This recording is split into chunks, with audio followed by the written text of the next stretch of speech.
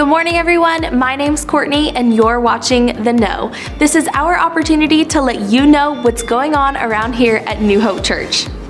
The deadline to sign up for baptism next week is today, so please visit Info Central or you may contact Pastor Steve at steve at newhopeonline.com.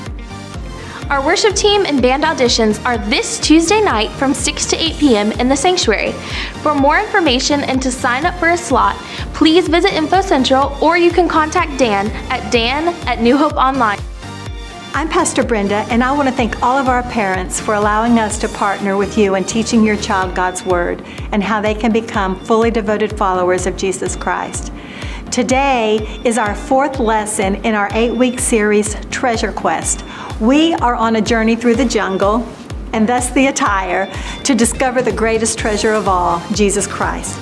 During this quest today, your child will be learning Scripture along with a main point that will help them grow in their walk with Christ.